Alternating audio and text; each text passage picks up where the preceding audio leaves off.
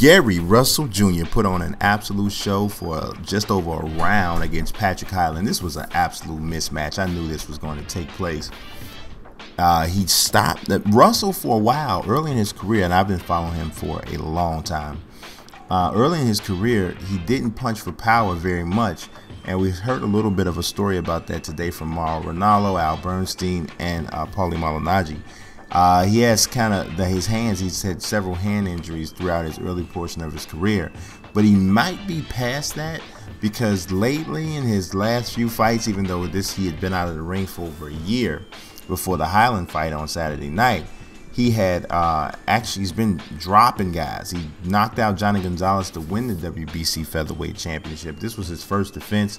He was supposed to fight twice before, one against Oscar Escandon and another time against Hyland which was supposed to be on the March 12th card, uh, which was uh, on the undercard of uh, Thurman Porter, which got canceled or postponed because uh, Thurman had the car accident. So, um, but yeah, now Russell Jr. is throwing with some bad intentions for real, man.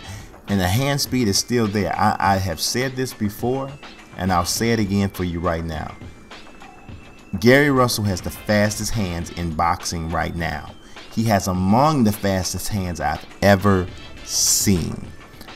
I, you know, if you ask me for a comparison of Gary Russell, I would say he is Meldrick Taylor with more power. And and that, if you think about that, because Meldrick Taylor was lightning fast, a very good technician, but he didn't punch all that hard.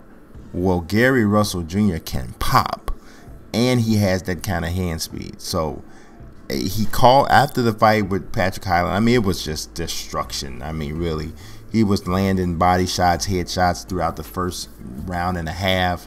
Dropped Hyland with a really, really, really quick.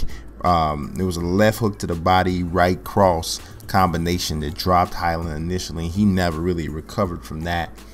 And um, I mean, he, I mean, Russell, man, he Russell's Russell is looking really, really good, man. So he called out Lee Selby, called out uh, Leo Santa Cruz, and he also wants a rematch with Vasyl Lomachenko, who gave him his only loss. It was in a majority decision, I believe, about uh, which was about a year and a half, two years ago. So Russell is he's ready for those guys. He really is ready for those guys. I think he beat Selby easy. I think he beat Santa Cruz relatively easy. And the Lomachenko fight's a different deal because Lomachenko's a special fighter. I don't know if he'll be able to fight on Lomachenko's warning to move up.